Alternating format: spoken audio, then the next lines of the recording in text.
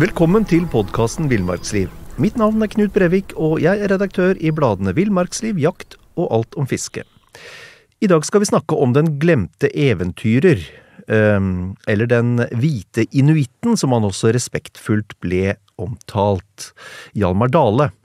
Og med meg har jeg Randulf Valle, forfatter av boka Hjalmar Dale, Den glemte eventyrer.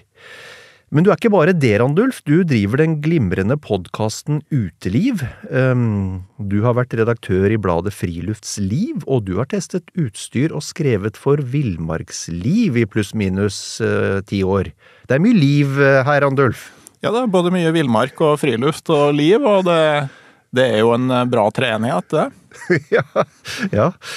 Um, boka Hjalmar Dale, den glemte eventyrer. Altså, sånn helt innledningsvis, hvem var Hjalmar Dale i, i, korte trekk? Altså, Grunnen til at vi vet om Hjalmar Dale i det hele tatt, er jo at det var eh, Hjalmar Dale som eh, sammen med Helge Ingstad padla over Store Slavesjø og opp Moskusrotteelva og kom til Elgsjøen, bygde hytta der, fangsta ut fra den en vinter og returnerte til handelsposten etterpå. Så vi kjenner Hjalmar Dale som en av liksom, de viktigste skal vi kalle det bikarakterene i Helge Ingstads bok 'Pelsjegerliv'. Mm, mm.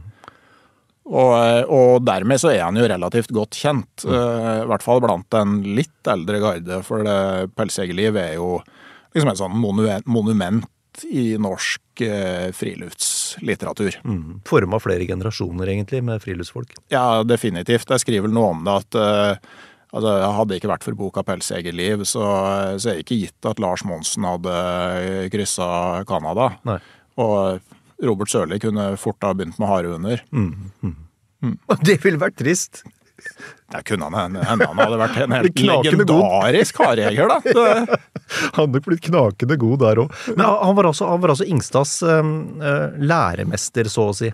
Ja, det, det, må man kunne si. Altså, Ingstad er vel ganske tydelig på det. At, uh, at Hjalmar Dale lærte han, han Ingstad trodde jo på en måte ut fra erfaringene på Hardangervidda i ungdommen og sånn, at han var godt rusta, men mm. fant ut at uh, det var et tydelig steg opp da, å skulle klare seg som pelsjeger på de hvite flekkene på kartet. Mm, mm. Eh, og eh, han sier vel noe sånt som at Dale ble min læremester i ett og alt. Mm, mm. og det handla jo både om rent praktisk, ikke sant, alt som måtte gjøres, og vite hva som måtte gjøres, men òg litt om måtte, hvordan du skulle møte det her. Eh, sånn mer mentalt, da. Mm. Eh, Sjøl om de kanskje ikke brukte alt, akkurat de ordene på det mm. da. Mm. Ja, fordi det er, klart det å, å jakte småvilt på, på Hardangervidda kontra det å klare seg i Arktis, det er, det er, det er forskjellen på, på eh, bedriftsserien, det og eliteserien i fotball. Ja, det, det, må du nok kunne si. Altså, det, var et, altså, det var jo et ugjestmildt miljø og veldig lite sikkerhetsnett. Mm. Altså, du du, de pelsjegerne her, altså de eh, fylte en kano med det de fikk plass til, og tok seg så langt innover eh, i villmarka som de klarte. Mm. Noen bygde hytte, noen satte opp et telt, og så var det å prøve å få skutt så mye caribou, altså reinsdyr, som mulig. Mm. Mm. hogge ved, og så håpe at begge deler holdt gjennom vinteren. Mm. mm. Og så var det jo eh, ikke sant, Når du leser 'Pelsjegerliv', så får du litt sånn feelingen at de eh, forsvant inn i det store intet og eh, på en måte dukka opp igjen på Handelsposten på våren. Altså når du går inn i kildelitteraturen, så ser du at det er litt Altså de, de, er ikke alltid så langt unna, altså, sånn, men, eh, men, definitivt uh, en krevende situasjon. Da. Men, men, men, det er jo sånn, sånn, som Helge Ingstad korresponderte jo relativt jevnlig med faren sin. Da. Mm, mm. Og faren var i kontakt med canadiske myndigheter for å sjekke hvordan det gikk med sønnen. Og, mm. Så eh, foreldre var nok bekymra på 1920-tallet òg. Ja, ja. Men, men, det som er helt klart, eh, det, det er at det var, det var, ingen å ringe hvis du fikk trøbbel den gangen. Det var ikke noe knapp å trykke på. Nei, definitivt ikke. Så, så var det jo Noen plasser så var det jo veldig langt mellom folk, og andre plasser så var det jo folk i nærheten. Eh, sånn at du kunne få hjelp, og så var det flere ting da enn nå som du ikke kunne få hjelp med. Men, men det var jo for så vidt litt det samme hvis du bodde i Masi eller Kautokeino eller Skjåk òg, da. Mm. Uh, hvis du går liksom uh, 150 år tilbake, så var det plasser hvor du var temmelig aleine da. Altså, jeg tror ikke de reagerte så mye på det. Nei. Og for så vidt det samme med de som satt hjemme, da, med folk som forsvant ut og blei borte ei stund. Altså, må huske på at uh, altså, var jo, Nordmenn var jo sjøfolk på den tida. Mm. Så vidt jeg har forstått, så var det Jeg husker ikke eksakt, men jeg tror det var når du dro ut i handelsflåten, så fikk du gratis billett hjem igjen hvis, du, hvis det gikk mer enn to år før du mønstra av. Mm, mm. Og det var litt sånn skamfullt å komme hjem mm. før det hadde gått så lenge. Sånn at folk var jo mer vant med å forsvinne ut i ingenting og klare seg mm. sjøl, og de var mer vant til at familiemedlemmer var borte lenge. Mm, mm. Og det er jo klart Overvintringsfangsten på Grønland er jo liksom det, det drøyeste, hvor du, du dro dit for, eh, på Øst-Grønland for å ligge i to år, men du hadde med forsyninger for tre i tilfelle det var et dårlig isår så du ikke kunne bli henta. Mm, mm. Så det, det, var jo ei helt annen tid. Mm. Og så var, var, det vel en mye større grad av aksept for, eh, for, risiko og død. Fordi det var faktisk en faktor du måtte regne med. Ja da, det, og det, det tror jeg nok. Og det var jo flere ting som var dødelige. Altså, husk på, det var jo før penicillin der. Så eh, folk døde jo av enkle infeksjonssykdommer hjemme òg. Mm. Og du hadde nok døden eh, tettere på deg. For det at folk i siste livsfase ble ikke sendt bort. Sånn at det kan nok fort være. Så hadde vel ikke folk noe dødsønske på den tida heller, så det var jo ikke noe Sjøl om det var kanskje noe du var mer vant med, så, så var det jo ikke noe ønskelig utfall. Nei, nei. I hvert fall ikke for de fleste. Nei. Uh, Hjalmar Dale, uh, han, um, han emigrerte til USA han i, i 1913. Mm. Eh, da var han 19 år gammel. Eh, men det bar ikke rett ut i villmarka med han? Nei, jeg tror ikke han på en måte sto på dekket av den amerikadamperen og eh, tenkte på felleplassering for mårfangst. Eh, han var jo en del av en stor søskenflokk fra et industrisamfunn, Dale, der man fortsatt lager Dale-genseren. Vært tekstilindustri der i årevis.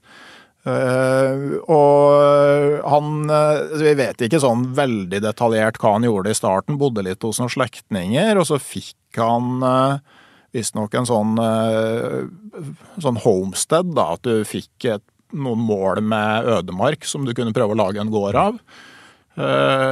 og det satte han i gang med, men så passa vel kanskje ikke det helt for han. Så var det noen jernbanearbeider og litt sånn forskjellig, før han da etter hvert satte kursen nordover for å prøve seg som pelsjeger. Mm, -hmm.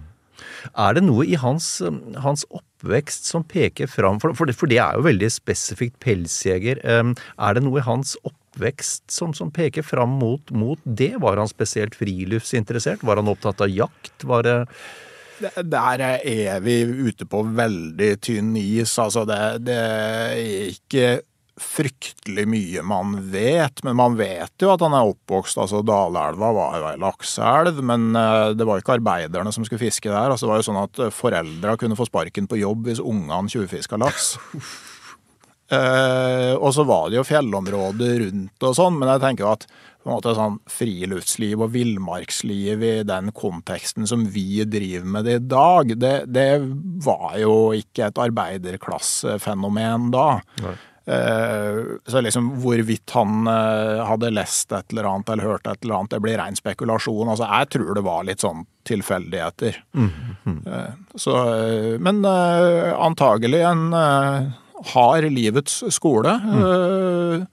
Men òg sikkert litt sånn trygge rammer og Altså Men det er vanskelig. Jeg syns det er vanskelig Hvis jeg hadde fått framlagt barndommen hans mm hvis jeg liksom hadde hatt eh, visst det jeg vet om den, mm. og så skulle gjetta hva han blei, så hadde kanskje pelsjeger vært et stykke ned på lista. Da. Det, det ser jeg. ja. så, eh, så, det blir jo veldig lett at du tolker det du veit inn i konteksten av det du veit at fulgte. Ja. Ja, for det er klart at en oppvekst på begynnelsen av 1900-tallet, den er ikke godt, eh, godt kildedokumentert. Nei, det, den er ikke det. det. Og det er jo felles for en god del av livet til Hjalmar. at altså, Han var jo ingen offentlig person som sådan, så det er jo ganske sånn tilfeldig når han opptrer når vi finner sporene i arkiver og sånn. Mm. Mm. Ja, si, si, litt om det. Altså, eh, en mann som var eh, eh, Som var, dro ut i villmarka og var borte i et par år av gangen på det lengste, to og et halvt år. Hvordan har du, hvordan har du gått etter han i sømmene? Hvordan har du, hvordan har du prøvd å, å gjenskape livet hans? Altså, det er jo liksom øh, et kjempestort garnnøste hvor du bare må prøve å finne noen ender og så begynne å nøste. Så er det enklere fordi at de store offentlige arkivene rundt omkring er digitalisert.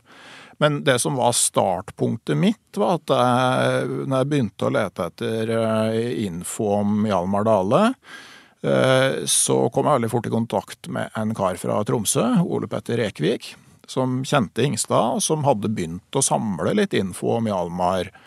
Eh, kanskje med en sånn fjern plan om å skrive ei bok, men egentlig mest med tanke på å få samla ting før de som satt på infoen, døde. Mm. Eh, så dro jeg og besøkte Ole Petter da, i Tromsø, og da jeg dro igjen på slutten av helga, så hadde han rett og slett gitt meg alt han hadde samla, uten eh, noe eh, krav eller For han innså at for hans del så han skulle, finne, han skulle kurere en sykdom. Det er det han har brukt livet sitt på. Ære være han for det. Uh, og at det å skrive boka om Hjalmar Dale Han forsto det som mange av oss sliter med å se. At jeg har lyst til å gjøre det her, men jeg kommer nok ikke til å gjøre det. Nei. Og da er det bedre at noen andre får muligheten til det. Mm. Så, så det var, da fikk jeg et ganske sånn stort Eh, jeg hadde en del å begynne å samle ut fra, og så er det bare å begynne å nøste i eh, forskjellige arkiver. Eh, Nasjonalarkivet i Canada, du kan finne arkiver over norske Amerikabåter. Altså det er veldig mye som finnes i arkiver, og når de er mer digitalisert, så er det, så er det enklere å finne fram. Mappa til Almar Dale i National Libraries of Canada, den var borte. Den var flere som hadde vært der og prøvd å finne den. Den var søkk borte. Men så var det plutselig da Frode Skarstein som skrev en uh, Ingstad-biografi, som lurte på liksom, har du sett det her. Uh, og da har den dukka opp i det digitale arkivet. Altså ikke sant, Typisk ei uh, fysisk mappe som er satt inn på feil sted mm. et eller annet, en eller annen gang. Helt umulig å finne igjen. Ja. Men når de da går på å digitalisere hele arkivet, da dukker det opp igjen. Akkurat. Og der er det lange brevvekslinger med myndigheter og søknad om tillatelser til ting og tang, og da kan du i perioder følge han ganske detaljert. Og, og sjøl ute på tundraen altså, så har du politipatruljer og liksom, eh, Det blir registrert hit og dit, og handelspostene til Hudson Bay Company, mm. store pelshandelsselskapet med røtter tilbake på 1700-tallet, hele arkivet deres ligger på mikrofilm. Da kan du gå på biblioteket. Bibliotektjenester er gratis. Så kan du si at jeg skulle gjerne ha sett på de mikrofilmene her. Så tar de kontakt med National Archives and Libraries of Canada, eller hva det heter igjen. Så kan du Jeg satt på biblioteket i Hammerfest og leste loggbøkene fra fra Hudson Bay Company i Baker Lake. Og så ser du liksom, da må du tolke det, og så må du vite at Hjalmar Dale bytta navn mange ganger. Mm, mm. Og da er det liksom Hamar came in from the land Ikke akkurat det, men da har han liksom det er da loggføringa at han har kommet inn etter å ha vært et halvt år aleine ute i villmarka. og så er han liksom på handelsposten i fire dager, og så er han som liksom trading with Hamar. Ja. Og så går det fire dager, og så drar han ut igjen. Så det er liksom ikke et kjempegilde og nå skal jeg ligge på ryggen her og slappe av i et halvår. Nei, nei, det er bare få gjort unna tradinga på handelsposten, og så er det bare å snu kanoen oppover igjen og dra ut. Men det, det, altså det, det, er klart, dette er jo et, et, stort puslespill som du jo har lagt eh, på en fremragende måte og resultert i boka. Um, men hvor, hvor lang tid brukte du på det? Det, det, er litt sånn definisjonsspørsmål. Uh, for uh, Jeg begynte vel sånn seriøst å lete etter info om det her i kanskje rundt 2004. Eh, og det var da jeg traff Ole Petter. Og så gikk det vel omtrent ti år derifra til boka kom, mener jeg å huske. Eh, og da satt jeg jo ikke hver dag i ti år og jobba med det her, men det var jo en sånn jevn prosess Mm. som eh, i løpet av ti år eh, resulterte i denne her boka. Ok. Um, han, han reiste altså, emigrerte til USA. Han, um, han var, hadde noen strøjobber. Han brøt land, som du var inne på. Han var innom det canadiske forsvaret, oljebransjen. Men i 1920 så har Hjalmar Dale fått sin lisens som pelsjegerne har funnet sammen med en makker. Men, men de to har ikke all verden av utstyr. De mangler blant annet soveposer. Og det er jo upraktisk, et område hvor det blir ned mot, mot 50 minus. Altså, hvorfor, hvorfor er de så dårlig utrusta, og hvordan løser de problemet med fravær av soveposer, Andulf? Ja, det kan man lure på. Jeg så jo nettopp nå på Instagram at eh, Frank Løke hadde gått 70 km rundt omkring på ski ute på Bygdøy i bare shorts her nå. Så, eh, så det er mulig du burde spurt Frank Løke om hvordan man løser det her. Det, eh, men eh, nei, eh, altså sånn systemet funka, da. At eh, du hadde pelshandelsselskaper, og dem ga pelsjegerne kreditt. Sånn at du kunne på en måte cashe inn penga for årets fangst før du hadde fått den. Rett og slett. Altså du kunne, Krita. kunne selge skinnet før du hadde skutt bjørn. Eh, og, men hvor mye kreditt du fikk, det avhang av ryktet ditt. Akkurat. Så var du greenhorn, altså grønnskåling, Ja. først, førstegangs, så var det ikke veldig mye kreditt du fikk. For der, altså, kom du tilbake med en eh, skabbrev og en, eh, et stinkdyr, liksom, så var ikke det mye å skryte av. Så de fikk nok ikke nok kreditt til å kjøpe alt utstyret de trengte. Så blant annet hunder og sovepose, det, det hadde de da visstnok ikke. Eh, Så de lå jo visstnok og roterte ved bålet. Eh, sånn halvstekt på den ene sida og eh, iskald på den andre. Han sa noe om at det går bra hvis du ligger helt stille. Ja, ja vel. Jeg, jeg, forstår ikke helt det der, men han, altså, er jo folk forskjellige. Han hadde visst en veldig sånn evne til å holde seg varm, kunne liksom greie ut med kjettinger og sånn til bikkjene barhendt i streng kulde. Så, så det er jo mulig han hadde noen eh, fysiologiske forutsetninger for det her. Mm, Men det kommer vel i kategorien 'ikke gjør dette hjemme'. Nei, for så vidt jeg forstår, så tente de to svære bål og la seg mellom dem. Eh, og snudde seg, som du sier, med jevne mellomrom. Jeg, jeg tenker at risken for på et eller annet tidspunkt å sløve inn i hypotermi må ha vært enorm. Da. Det, men, eh, men han hadde vel en jernvilje, sånn jeg forstår det. Altså sånn, eh, og en veldig sånn arbeidsmoral. Do it today. Ja, ja. Men, men, men han var altså, hvis vi skal bruke et moderne finansbegrep, da, så var han ikke kredittverdig helt til å begynne med. I hvert fall lav kredittverdighet. Ehm, og, og lite er jo kjent fra de fem åra han fangsta fram til han møtte Ingstad i 26, men, men, eh, men da ble han omtalt som en uhyre dyktig pelsjeger. Så han, hans kredittverdighet, om, du- om du velger det begrepet, hadde steget vesentlig. Ja, den hadde stiget vesentlig. Han, eh, han hadde jo råd til å dra hjem til Norge da han møtte Ingstad. Nå er det lenge siden jeg var inne i årstallene her, men det var vel i 26 han møtte Ingstad. Ingstad var på vei ut i villmarka. Dale var på vei hjem til Norge for første gang. Og det at han da både hadde pengene til å dra hjem, men også hadde råd til å la være å fangste en hel vinter. Det tyder jo på at han hadde gjort det ganske bra. Og så er jo det her er jo egentlig gullalderen for på en måte den, den europeiske pelsfangsten i arktisk Canada. Vi har liksom lett for å se for oss det som en sånn kjempelang tradisjon, liksom med David, Davy Crocket og eh, munnladings flintlåsrifler. Og, men sånn egentlig så var det de innfødte som eh, fangsta pels for pelshandelsselskapene. Og det var egentlig først sånn fra tidlig 1900-tall etter gullrushet i Klondyke at du begynte å få hvite europeiske pelsjegere. Og det var egentlig bare sånn en kort Altså fra ja, egentlig 1920-tallet, øh, kanskje andre halvdel av 1920-tallet, var liksom gullalderen fram til børskrakket som, øh, som sendte ting nord og ned rundt 1930. Det var liksom det som var gullalderen for uh, pelsfangst. Så Ingstad traff jo liksom midt i.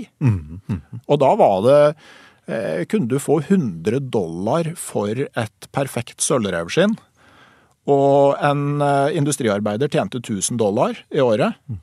Og en god fangstmann kunne fange 300 rev. Ja, da, da, da fornemmer man at her lå det penger. Ja, ja. Og så var jo flere av de der pelsjegerne var jo ekstremt gode til å få brukt opp den eh, formuen. Eh, og det kan du kanskje se på altså de, de trivdes best ute i villmarka på fangst. Måtte bare sørge for at de var lutfattige, så de ikke ble frista til å overvintre i byen. Det var det Henry Rudi sa, han isbjørnkongen, at de hardeste overvintringene noen gang hadde, var dem han hadde i Tromsø. ja. Men, men, men em, altså, i de arktiske områdene nord i Canada, så, så vil jeg tro det skal litt til å, å opparbeide seg en status som hard og, og, og dyktig. Um, og det gjorde jo Dale åpenbart ganske raskt. Hva, hva, hva var det ved Dale som imponerte omgivelsene? Nei, altså Det er vel på en måte bare det enkle faktum at han evna å overleve og tjene penger, tror jeg. Og at han klarte det gang på gang. Eh, Jeg tror ikke det er så mye mer komplekst enn det. Og hvis du ser i litteraturen, så er jo på en måte nordeuropeerne altså litt det der protestantiske lynnet, ikke sant. Altså, livet skal være hardt, og det skal være arbeid. Stein på stein. Ja. Arbeid immer arbeid, som de sier i Tyskland. Eh, og, og det er klart eh, ikke sant, Det der at du står opp hver bidige dag og ut i kulde og storm og røkte fellene dine og, og, og så, måte, Du må jo drive deg sjøl hver eneste dag en hel vinter. Det er da du gjør det stort. Så jeg, jeg tror jo at uh, tilværelsen passa ganske godt for det norske og kanskje det vestlandske lynnet, da, som eh, eh, skal jeg si, en god protestant er en god pelsjeger. I ditt ansikts sved. ja. Det, det, det, er noe med, noe med det der, ikke sant, som var eh, Altså, så er det jo tror jeg nok at for eh, viltfaunaen i Canada, så var den derre maskinelle fangsten som etter hvert ble drevet over hele nordområdene, og en sånn stadig mer intensiv caribou-jakt da, når du skulle ha til åte og du skulle ha til store hundespann. Eh, Jeg tror nok at det var med å gi sånn som caribou-en et sånn begynnende trøkk som den kanskje aldri helt kom seg av. Nei, nei. Hvis du ser på inuittene ved Baker Lake og sånn, så kan de jo, når du ser hundespannene der, så kunne det være helt ned et par hunder. For det, det var ikke ressurser til å fòre noe mer. Og så kommer det liksom Da skal det ikke så fryktelig mange til som driver en sånn industriell fangst, da, før, eh, før ting endrer seg ganske mye. Du skriver jo i, i, i boka, så, så, så skildrer du jo at, eh, at Dale ble, ble som, som gutt rammet eh, av polio. Som satte seg i beina, eh, og, og han måtte trekke seg fram etter, etter henda langs gulvet på, på det verste. Og at han da eh, la ned en, en veldig hard treningsdisiplin over tid, og utvikla annen muskulatur, da, som, som jo er hensiktsmessig når polio rammer. Og du har en, en teori om at det er, er litt av, hva skal du si, den eh, både fysiske og mentale bakgrunnen for at han lykkes så godt i et så karrig område som, som nordområdet i Canada? Ja, det, det kan nok være, ikke sant, det der eh, Altså i hvert fall vise noe av karakteren, da. Altså den eh, Det at du møter problemene, at du gjør det som Altså, du ser eh, mulighetene. At, eh, og, og du har den disiplinen til å fortsette og fortsette og fortsette. For det er klart eh, nå, vet vi jo ikke noe i detalj om den eh, sykdomshistorien hans heller. Eh, Men eh, jeg går ut fra at det er ikke sånn at du eh, får trent opp de alternative musklene på en dag eller to. Altså, du- du skal drive på lenge, og det går antagelig lenge før du begynne å se at det her eh, går riktig vei. Så at, eh, jeg tenker at det er jo eh, et karaktertrekk, tenker jeg. Mm, mm. Og, og, han brukte jo, ifølge, ifølge, boka di, så brukte han jo også stokk da han reiste over til USA i, i 19, 1913. Ja, det sies det. Mm. Så han var jo han var ikke helt framme da heller? Nei da, var ikke det. Så det, det var en lang prosess. Noen som kjente han seint i livet, som sa at du kunne på en måte se Altså at han fortsatt da gikk litt sånn rart, da. Mm, mm. Han hadde en gangart som når de Det falt liksom på plass da de hørte han hadde hatt polio og lært seg å gå på nytt. Mm, mm. For det, det, var liksom Han hadde en litt sånn karakteristisk måte å gå på. Ok. Um, men han, han reiser så, så, så, hjem igjen. Åpenbart gjort det bra. Um, og på vei hjem til Norge så møter han, han Helge Ingstad i Edmonton i, i 26. Og, og, Ingstad har åpenbart uh, gjort et inntrykk på Dale. For de blir enige om å fangste sammen de neste år i 27. Hva, hva tror du det var ved Ingstad som, som Dale festa seg ved? Igjen veldig vanskelig å vite, altså, men, men øh, de, de, må jo åpenbart ha hatt bra kjemi, da, mm. tenker jeg. Uh, og de rakk jo sikkert ikke å bli så veldig kjent med hverandre i 26, når de møttes litt sånn tilfeldig. Uh, men uh, det blir spekulasjoner, altså. Men man må ha sett noe i Ingstad, og så må jo òg Ingstad, som egentlig kommer fra et mye høyere samfunnslag, ha på en måte forstått sin posisjon. At nå, nå, er vi et annet sted, og det er andre mekanismer som er viktige. ikke sant? Mm. Altså der, I Nordlandet så begynner enhver person på nytt. Mm, mm. Og det er hans dugelighet der og da, skriver Lingstad nå med Pelsjegerliv. Det er det som teller, og du spør egentlig ingenting om forhistorien til folk. For den betyr så lite? Ja.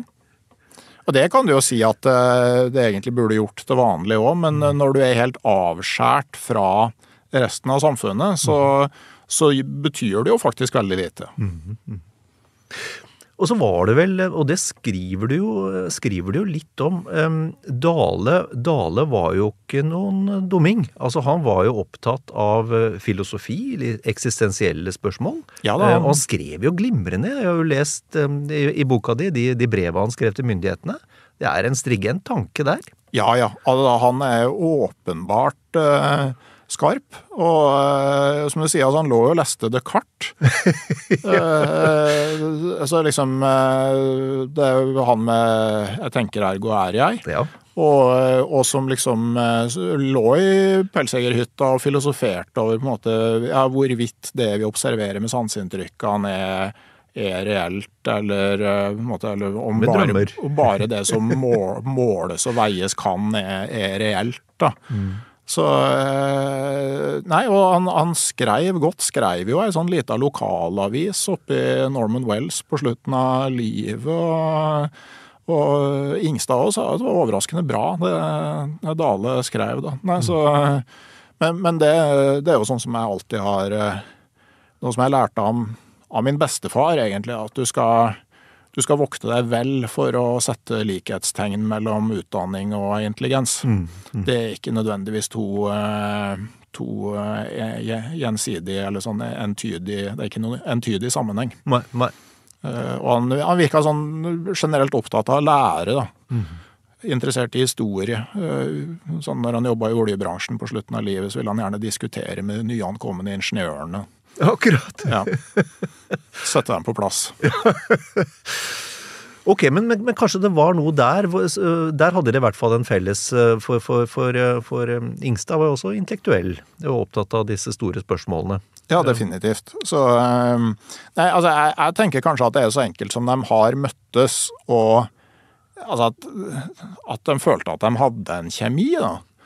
Uh, og uh, det er klart, altså for, uh, for Ingstad så var det jo åpenbart at det var en kjempemulighet. Mm. For, for, han hadde han, han Det året som, eller vinteren som Dale var hjemme, så hadde Ingstad litt sånn lite suksessfullt år som ikke blei sånn som han hadde tenkt, og som egentlig i Pelsjegerliv bare beskrives i løpet av en halv setning. Mm. Jeg kom fra skogene i sør. Ja.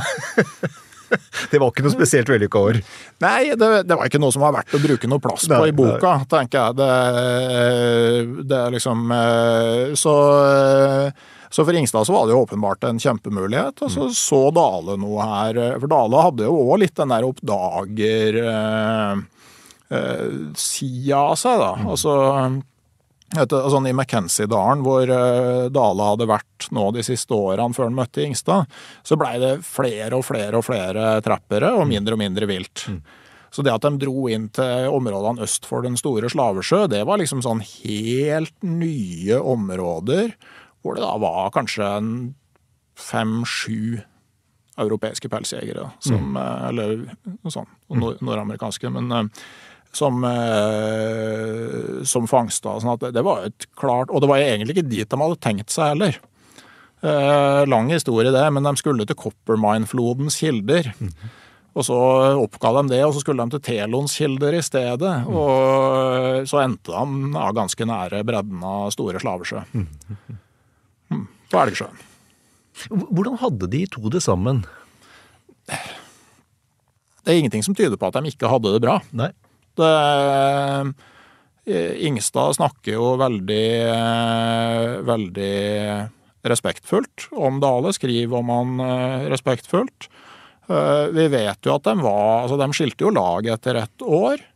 Det er en sånn amerikansk bok, kanadisk bok, hvor det spekuleres i at det var en sånn alvorlig uoverensstemmelse mellom sånn indusert av Ingstads foreldre, men vi vet jo at Dale besøkte jo foreldrene til Ingstad flere ganger han besøkte dem når han var tilbake i Norge, og det er ingenting som tyder på at det var noe vondt blod mellom dem. Uh, mer da at de hadde litt sånn forskjellige interesser for hvor de uh, ville videre. Kanskje litt sånn tilfeldigheter som gjorde at da Ingstad ble igjen øst for Store Slavesjø, og Dale satt uh, kursen ut på tundraen og østover inn i de enorme villmarksområdene øst på tundraen. Mm -hmm. Et sted vi også er nødt til å snakke litt om, det er du skriver at, um, at, at, at Dale jobba bevisst med det mentale. Dette med å tenke, tenke, gode tanker. Og i dag så er jo det sånn, sånn allment kjent tankegods rent HR-messig, da. Mm. Men det var det ikke på 1920-tallet. Altså, han var åpenbart forut for sin tid der. Ja, kanskje han i hvert fall var bevisst på det. Eh, så eh, at han, eh, at han liksom Både sånn det må tenke gode tanker, som han sa, men også det derre Det er jo viktig at det er kobla til handling, tenker jeg. For i dag så jeg fnys jo når jeg leser om det der med manifestering. At du liksom skal sitte og tenke på det som skal bli bra. For det var jo ikke det Dale gjorde. Han, eh, han, eh, tenkte sikkert at det her kan bli en bra dag, og så gikk han ut i kuling og 30 minus og greia ut med bikkjene og fikk sette etter fellene. Mm. Og fikk gjort det han skulle gjøre. Mm. Og så kom han tilbake i teltet og fant ut at eh, ja, ja, jeg har jo fire vierkvister som jeg kan eh, fyre på, så det her blir jo en bra middag. Ja. Eh, og så lagde han seg reinkjøtt til, til, middag. Altså, så jeg, jeg, tror det var altså den Det er jo jeg ville kanskje tro at det er på et vis sånn handlinga som leder tanken. da. Mm. Men, og det er jo andre sånn, igjen Henry Rudi og sånn inn på, at den friheten som pelsjeger og den lykken den handler jo om å ikke bruke friheten til å ikke gjøre noen ting. Uh, lykken kommer når du liksom du har gjort det du skulle gjøre, sjøl om du ikke måtte. Mm, mm, mm. Det, så, eh, men kanskje Dale var tidlig med å måte, forstå hva han gjorde. Mm. mm. Og, og i, i, et kompaniskap med andre, sånn som de lå sammen, så tenker jeg så er det jo helt avgjørende at man gir hverandre og igjen, dette er, nå er det kjent tankegods som at man gir hverandre positive tilbakemeldinger, og ikke hele tida finner det negative å snakke om. Eh, og det kan kanskje også være en årsak til at de hadde et ålreit år sammen, da. Ja, det, det, kan godt være. Det var jo nok av eksempler på sånn makkerpar som, eh, som kom temmelig dårlig ut av det med hverandre. Mm. Eh, men Dale og Ingstad hadde det nok bra, da. Mm. Så Sjøl om det blei med det det ene året. Mm.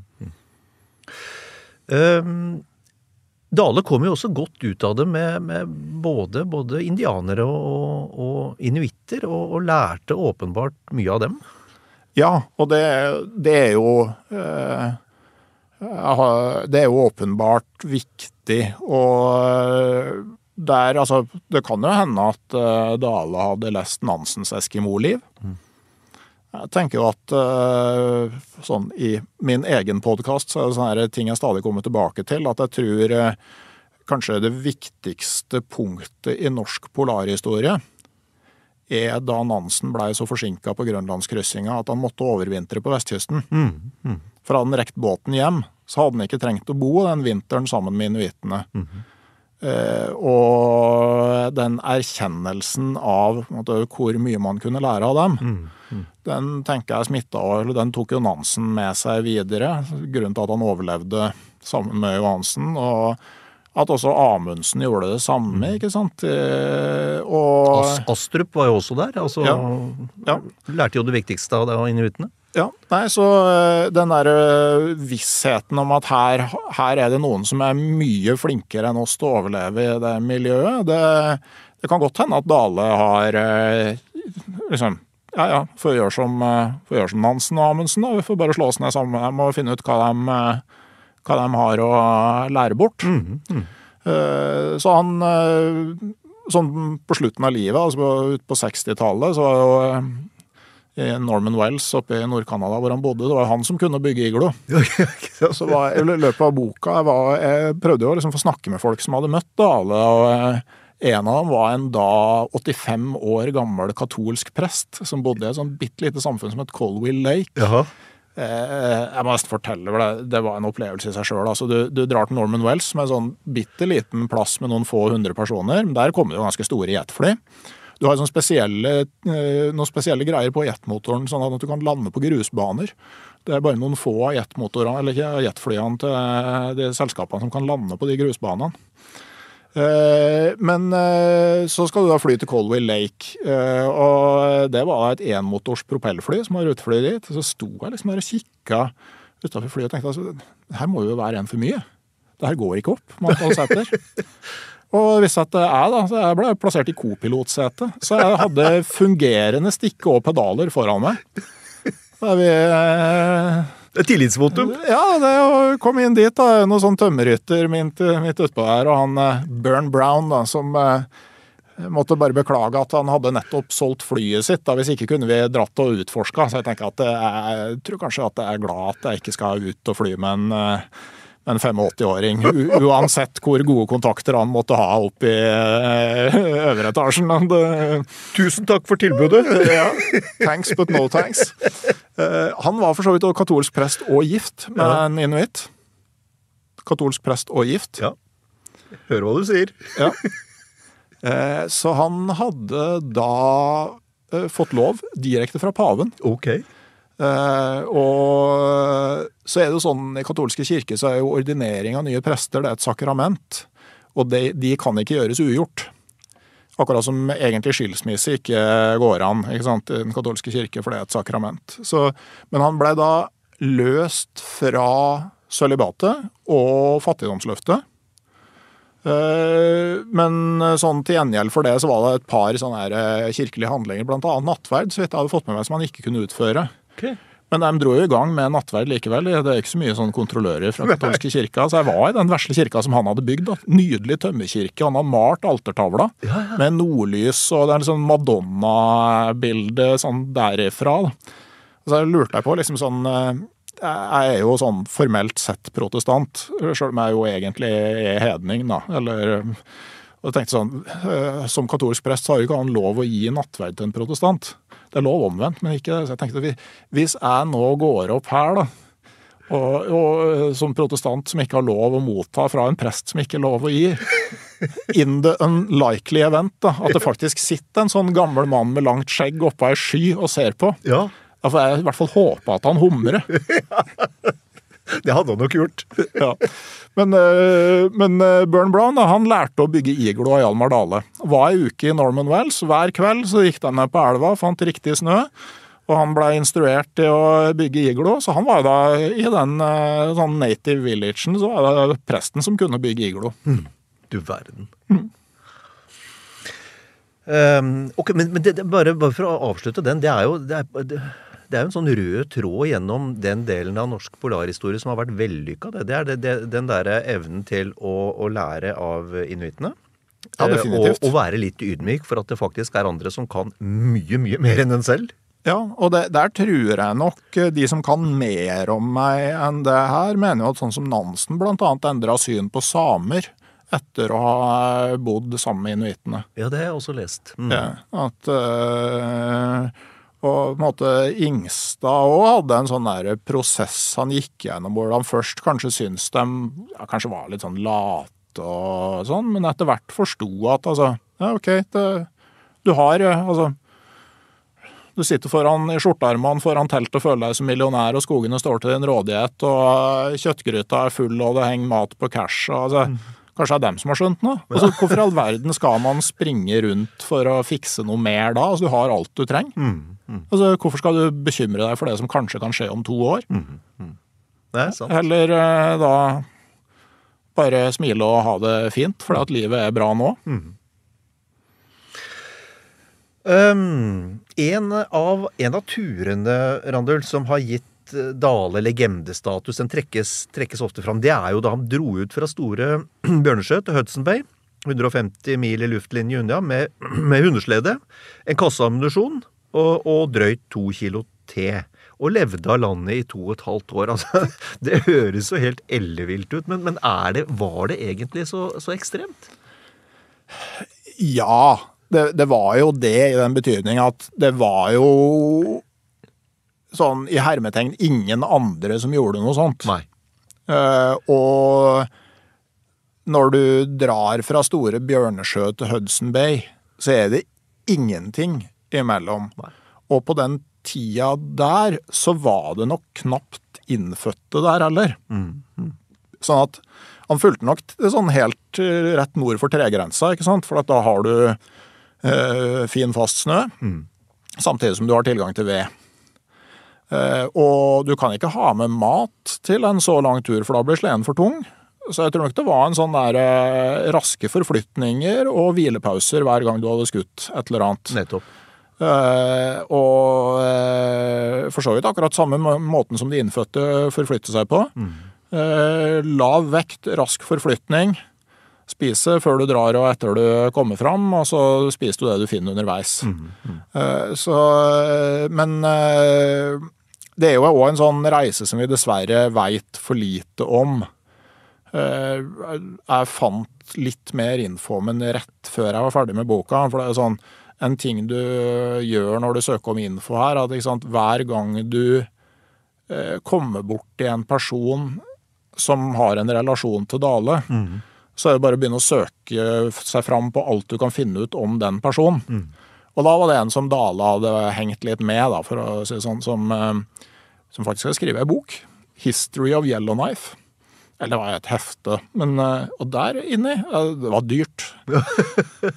Fant det på antikvariat på nett og tenkte det her Jeg hadde hatt en del sånn bomkjøp som ikke ga meg noen ting. Ja.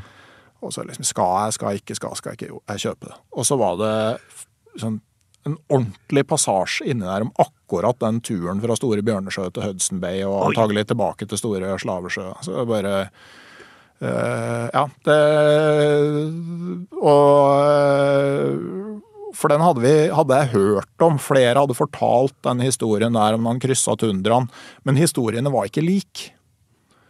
Og der fikk jeg en samtidig fortelling fra en som jeg visste at hadde en nær relasjon til Dale. Eh, Og da har du plutselig mye mer sånn eh, Sånn eh, eh, en, en beretning som har mye mer tillit, da, som du kan antagelig anta at det er veldig nære eh, sannheten.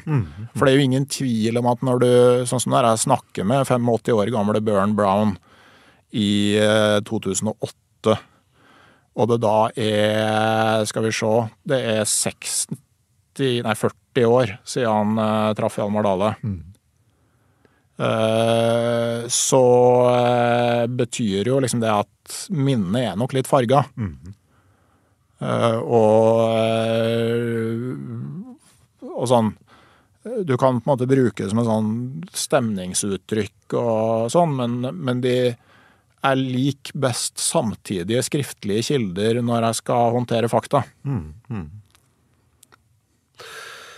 Det er fordi eh, Tilbake til spørsmålet. Det, det, det, folk ofte, det, folk ofte, reagerer på, er jo, er jo at han reiste ut med en, en, en kasse med ammunisjon og to kilo drøyt to kilo te, og ikke noe oppakning. Men som du skriver i boka, du kan ikke ha med deg Du kan ikke ha med deg proviant for to og et halvt år.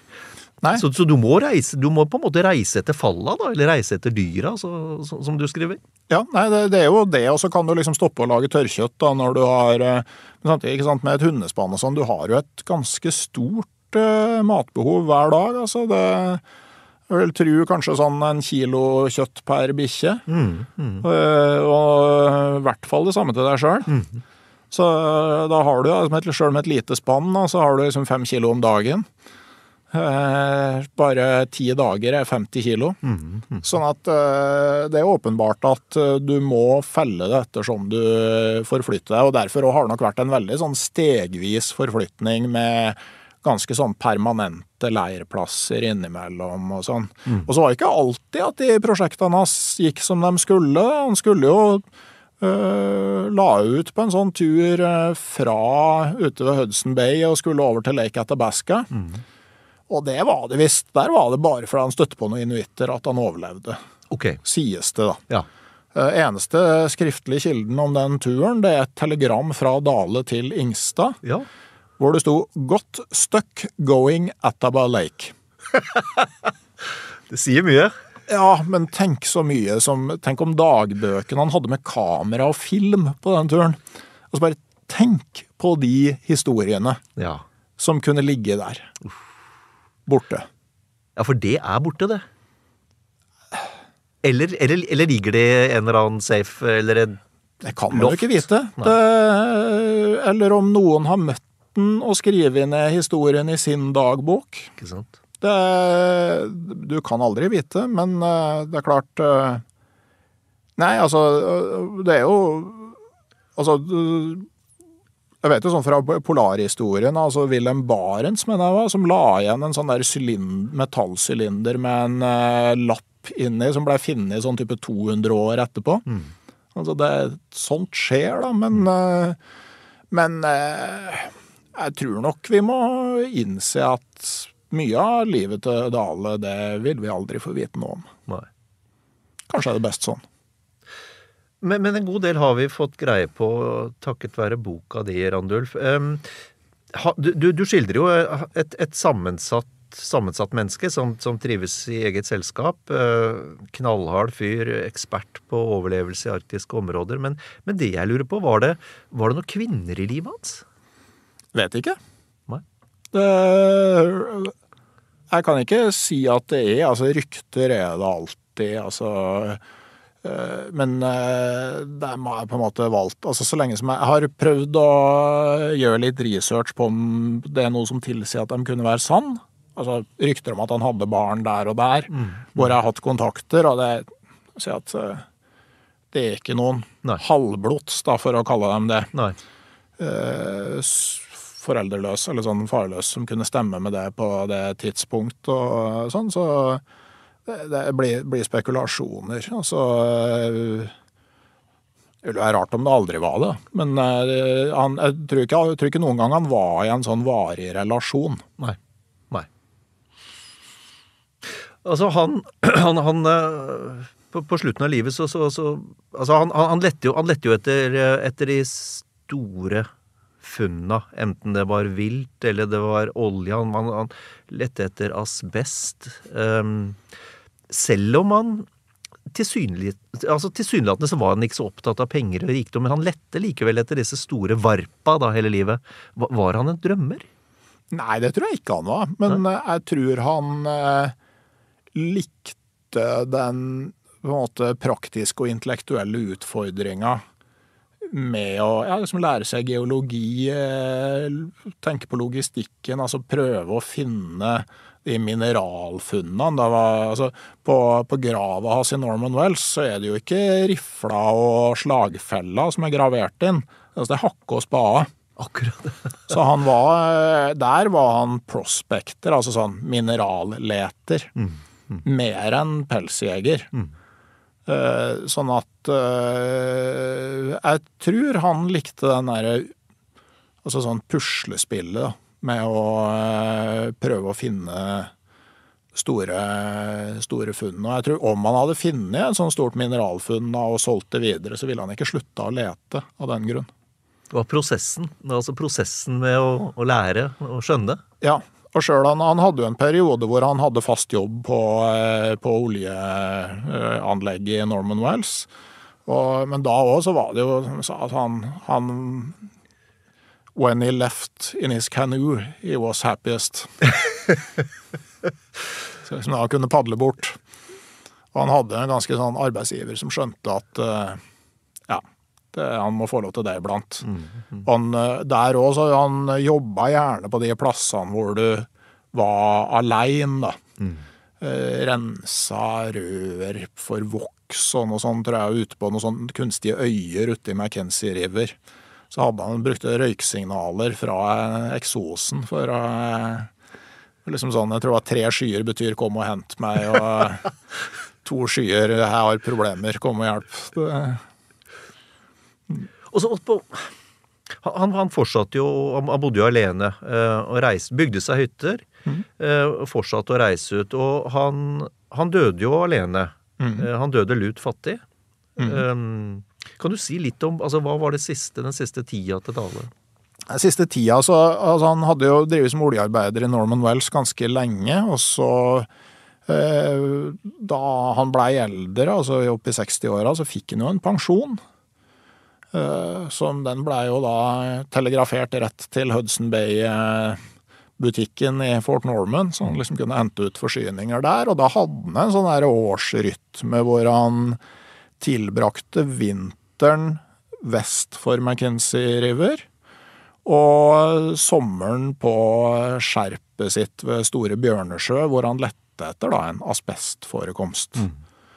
Eh, og da lå han om vinteren og egentlig lagde tørrkjøtt. Jakta elg og eh, altså, Hva han ellers drev med, vet jeg ikke. Fyra. Leste det kart.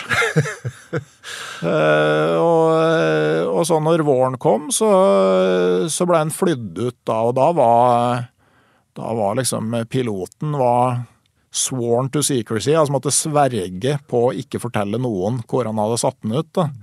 Det var så vidt også litt sånn risky i tilfelle den piloten krasjer i løpet av sommeren. da, Så har du plutselig ingen som vet hvor du er. Eh, Men eh, da, da lå han rundt da og, og prøvde å og gravde og hakka stein da, om eh, sommeren i myggsvermene. Og så var, hadde han sånne perioder hvor han da var innom i Norman Wells og kunne få bo på arbeiderbrakka og spise og sånn. Han var ofte forferdelig sulten når han kom inn. Og forferdelig illeluktende, har jeg skjønt. Ja, det kan man jo for så vidt øh, forstå. Han smurte seg med bjørnefett for å holde myggen unna. Kan tenke Når det er sånn øh, 20 varmegrader og du har gått innsmurt i bjørnefett i et par måneder, så, øh, så har nok det en, en helt grei odør. Altså det, det må det være lov å si, som Drillo ville sagt. Det, Det river deg ned sosialt. Ja, jeg tror kanskje ikke egentlig det, for at jeg tror altså, øh, altså Hamar, som han ble kalt Norman Wells, da han øh, de var nok glad i han, for han symboliserte et sånn bindeledd til pionertida, til hvem de egentlig var, da, eller hvem de i hvert fall hadde vært. Eh, og det var liksom en sånn festdag når Hamar kom inn, og da hadde jo liksom dere damene som jobba på kjøkken og vaskeri og sånn, hadde lagt unna klær så han fikk bytta. og- For han hadde jo ett sett som han gikk i til hverdags og fest, men de tok unna sånn klær som ble liggende, da, så han hadde litt når han eh, kom inn. og så eh, fikk han eh, Han kunne liksom spise liksom en, en hel indrefilet, for eksempel, da, når han eh, kom inn fra The Land.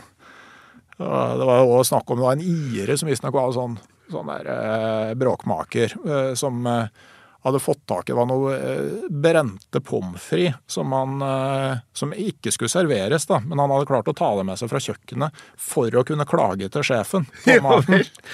Og så skulle han bare, det var et eller annet han skulle gjøre før han skulle videre til sjefen og klage. Eh, Så han la dem fra seg i brakka. Det han ikke hadde huska på, var at eh, Hjalmar Dale nettopp hadde kommet inn fra børsen. Så mens han var ute i fem minutter og kom tilbake, så var jo der svidde pommes fritesen var borte. Han spør liksom hvor blei det av dem, og sa å nei, de var kjempegode, jeg spiste dem. Tusen takk for mat! ja. Ja, fantastisk. Men, men, men han, ble, han, ble jo, han ble funnet død i hytta si med en levende hund utenfor, forsto jeg? Ja, øh, hun som hadde hatt tilgang til øh, klart å få tak i øh, kjøttlageret. Han hadde vel, så vidt jeg forstår, kreft. Var veldig dårlig hele den siste høsten. Dagboka hans derfra er jo delvis beskrevet i en politirapport. Eh, Sånn at du ser at han sleit veldig, og var, skjønte ikke helt hva som feilte da. Han mistenkte at han liksom hadde spist noe dårlig mat, han mistenkte at det var aluminiumskjeler, han hadde vært og fått tak i nye stålkjeler i stedet. Hadde masse teorier for det, men antagelig så hadde han nok da kreft. Og For da hjalp ikke slagordene hans om at det alltid er en vei ut. Nei, for det var jo Det fins alltid en utvei. Så er det jo en Altså, døden er jo også en utvei. Man skal jo dit til slutt. Så eh, han fikk vel et illebefinnende, et slag, hjerteinfarkt, jeg vet ikke helt. Eh, han ramla vel over ovnen og eh, lå liksom litt sånn med armene ut og De syntes vel det var trist, da, at liksom gamle ja, sånn byoriginalen, maskotten og måte sånn samlingspunktet fikk en, et sånt endelikt. da. For det var jo da han De brukte jo å være ute med posten til jul. Så hadde det ikke blitt noe av det det året. Og når de fløy over, så så de ikke noe spor eller noe sånt. Så var, de begynte å bli bekymra. Så var det noen som dro ut da og fant den død. Mm. Så da var det sørgedag i Norman Wells da, da Dale blei flydd inn. Um, Hjalmar Dale, boka Den glemte Altså Hjalmar Dale, Den glemte eventyrer. Det er en eh, fantastisk bok. Eh, nå har jeg lest den to ganger. Um, hvor får man tak i den, eh, Randulf, hvis vi vil ha den nå? Nei, du må gjerne kjøpe den av meg. Eh, Randulfvalle.no. Mm. Eh, der er det en liten nettbutikk. Du kan jo til og med få den signert. Ellers så finnes den jo antagelig i en del bokhandler og på biblioteket. Da vil jeg anbefale at folk kjøper den direkte av deg. Ja, men det er jo hyggelig. Og så er det mulig å høre den på lydbok òg, faktisk. På, Blant annet på Storytel. Så, mm. Men eh, ta gjerne en tur innom randulfalle.no og eh, plukk med deg ei bok.